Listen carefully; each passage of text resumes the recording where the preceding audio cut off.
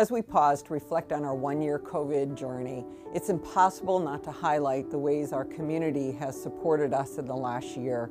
In March of 2020, we put out a call for PPE and you responded.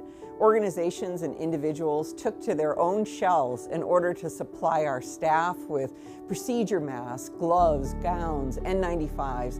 We received thousands of pieces of personal protective equipment when we had challenges obtaining our own.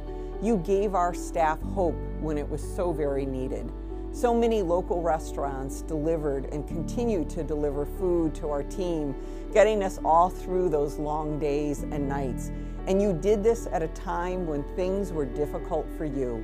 While others danced around the hospital in a unicorn costume, made signs of hope and optimism, and shared messages of support, our staff has sacrificed so much and has shown great resilience in the last year, but our community has also sacrificed while at the same time giving us so much.